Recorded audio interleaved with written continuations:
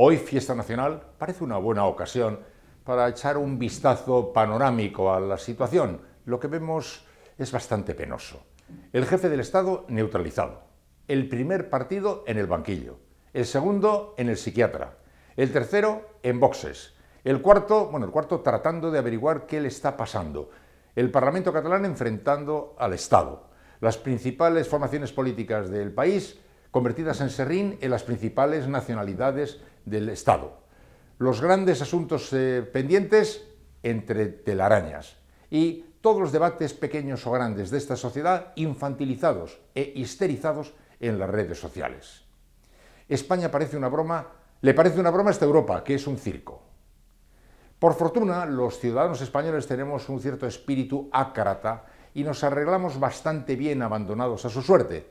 Además, creo que todos nos hemos rajoyizado, es decir, hemos hecho nuestra esa impavidez de beduino gallego en el desierto.